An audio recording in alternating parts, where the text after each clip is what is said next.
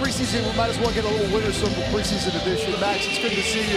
Uh, you get started with that big first half, you finish with 24 in the game.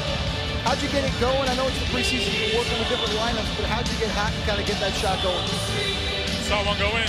Uh, not worried about misses.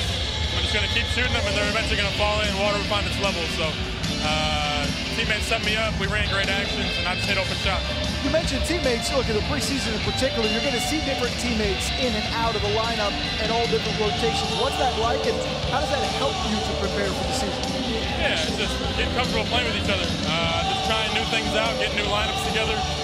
It gives guys a chance to earn contracts like Jamal did. So this provides an opportunity for guys, and we're just here to play with each other and have a good time.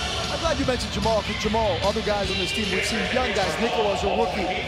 Not long ago, you were that guy making the most of the opportunities. What's it like, and what do you tell them as they try to make the most of the opportunities? Yeah, it's fun. I've been in their shoes, so I know what it's like to get waived. I know what it's like to get signed. So uh, just try to be a positive impact and uh, walk them through the steps and uh, just try to be a guide for them and help them out along the way. Got one preseason game left. We don't know what the lineups are going to look like, who's supposed to play or not, but how close do you guys feel as a team you're ready to be where you want to be when that ball tips off for game one? Okay, we're ready. We'll be all right.